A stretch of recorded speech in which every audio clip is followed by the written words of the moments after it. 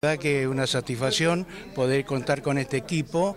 Y como yo siempre digo, esto tenemos que trabajar sobre la prevención y con el apoyo de todas las entidades que de alguna manera siempre nos encontramos eh, juntos, como ser Aeroclub, que es una cosa muy importante, disponer de todas las instalaciones para que en un hipotético caso de incendio podamos combatir, tener base acá y poder combatir en forma eficiente de los incendios forestales que son problemas serios en todo el país.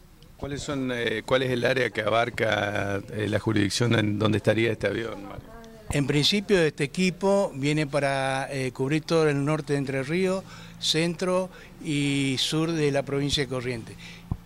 No quiere decir esto que eh, pueda atacar esa zona, puede ir a Bellavista, puede ir a otra zona, de acuerdo a las necesidades que tengan otros sectores de la provincia, inclusive de Misiones. Sí, sí, correcto. Eh, me voy a presentar, yo soy Martín Racines, soy gerente forestal de CENI, la empresa forestal conocida aquí en la zona.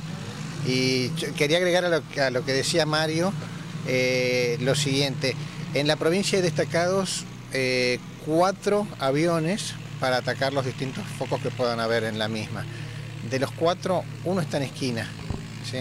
Dos están ubicados en, el portal de Corrientes en Misiones y en el portal de, Corrientes en, en Entre Ríos.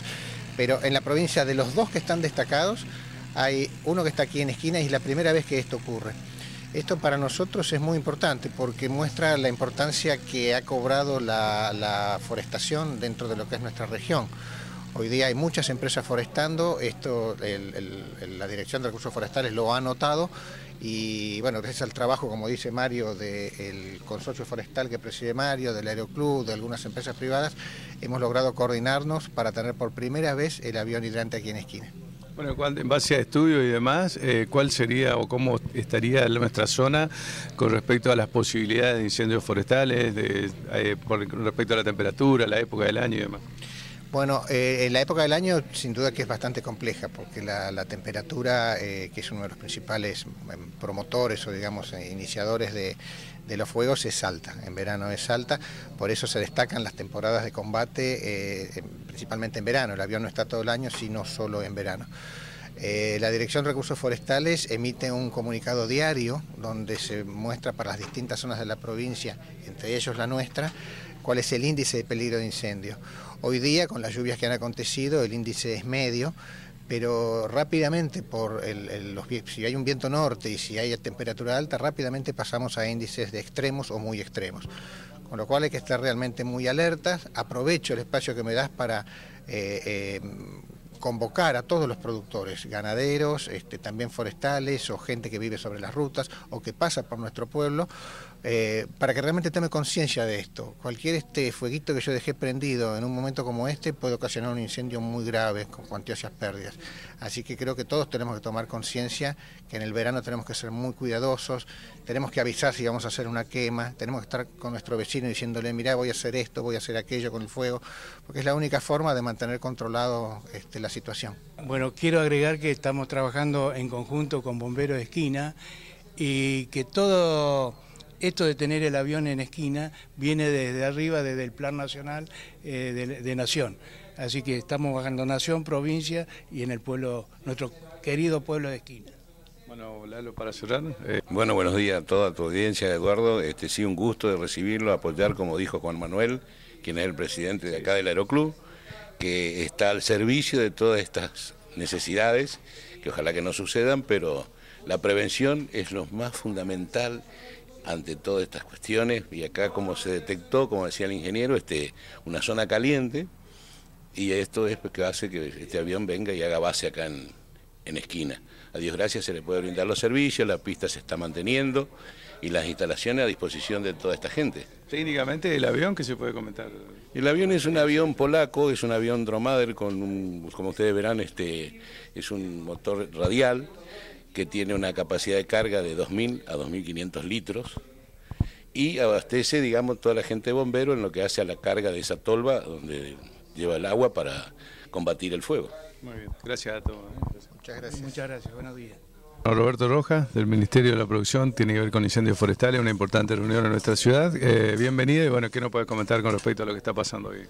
Bueno, muchas gracias. Eh, lo que estamos haciendo hoy aquí es una reunión informativa para establecer los protocolos de uso del avión hidrante, que es un recurso que viene del Sistema Nacional de Manejo del Fuego a la provincia.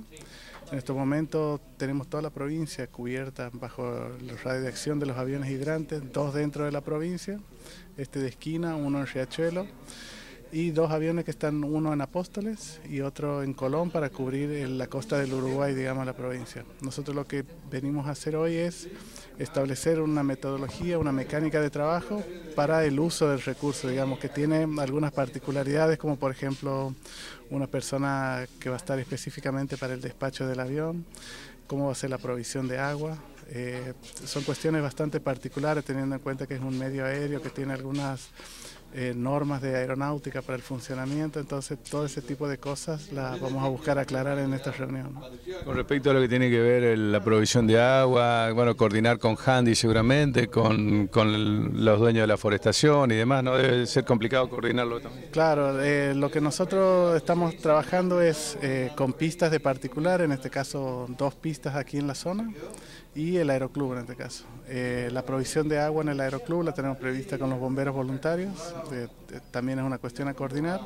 Y en los predios particulares, en las pistas de particulares, eh, más que todo coordinar el tema de la provisión de agua. Nosotros, eh, la provincia ha adquirido eh, unos, unos sachets que se llaman para, para el reservorio de agua y de ahí la posterior carga en los aviones, digamos así funciona. Con respecto a la cantidad de hectáreas forestadas en la provincia o acá en esta zona y por supuesto a los grados de, de complejidad en cuanto a la temperatura y demás, en cuanto a posibilidades de, de incendios forestales.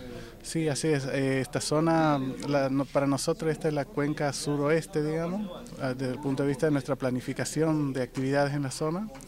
Y lo que aquí tenemos alrededor, entre Goya y Esquina, alrededor de 15.000, 17.000 hectáreas forestadas.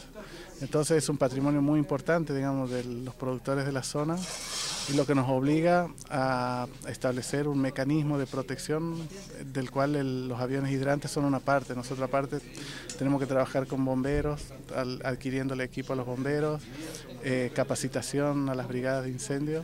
Eh, tenemos que trabajar en, en la parte de concientización, digamos, charlas de capacitación y lo que es la parte de trabajo conjunto, digamos, entre la provincia y los privados, digamos, que para coordinar y tener todo, digamos, hablar todo un idioma único a la hora de trabajar en el tema, ¿no? Bueno, alguna sugerencia para la gente seguramente también en cuanto al cuidado del fuego y por supuesto, bueno, algo que quiera agregar y ya agradecerte por, por atendernos tan gentilmente. Bueno, eh, en realidad como sugerencia eh, para la gente de la zona le diría que tengan cuidado de las condiciones que se dan, digamos, cuando tengamos periodos largos de, sequía, digamos, de altas temperaturas y de viento, eh, evitar eh, el fuego y si hay, eh, llamar inmediatamente a los bomberos porque un fuego que es pequeño en un momento puede causar un desastre, digamos. Más allá de las forestaciones, tenemos que tener en cuenta que anualmente se pierden kilómetros de alambrados, casas de terreno en zonas rurales, o sea que es una problemática bastante importante. El fuego, me gustaría aclararlo, no está prohibido el uso en la provincia. Lo que nosotros queremos es que se use en forma racional para evitar daños a terceros.